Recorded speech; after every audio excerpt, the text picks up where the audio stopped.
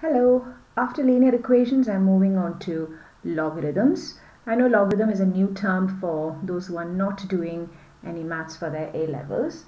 So logarithm is uh, a number which converts the given number into a order of magnitude scale. Order of magnitude scale. Now just to make it clear what do I mean by this order of magnitude. So if I have 2.5 times 10 to the power 1 which is the standard form of writing 25 so 25 can be written in the standard form as 2.5 times 10 to the power 1 so here 1 is the order of magnitude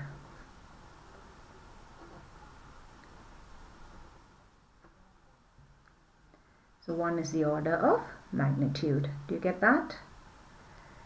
Then, if I go for another number, so let me go for say 250, which in standard form is 2.5 times 10 to the power 2, right? So what will be the order of magnitude there? The order of magnitude is going to be 2. So this is what we mean by order of magnitude. When it is small numbers like this, it is easy to see. But log helps us to compare numbers over very large scales. Okay. Now, how do we do this? If we have 10 to the power 2, we know that 10 to the power 2 is equal to 100. So what log does is, so log 100 we do log 100 the order of magnitude here is 2 right? So log 100 would give you a 2 similarly if you go for 10 to the power 3 which is 1000 and if you take log of 1000 it will give you the answer as 3 so basically it is giving you the order of magnitude. So this is what log does the log or the logarithm of a number converts the number to its order of magnitude. Now, how much details do you need here? You don't need that many details. What details you specifically need for your exam, I will let you know when we come to that part. Okay.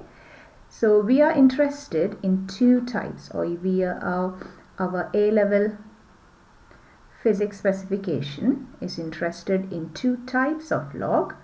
One is called the common log or common logarithm and the other is called the natural log or natural logarithm.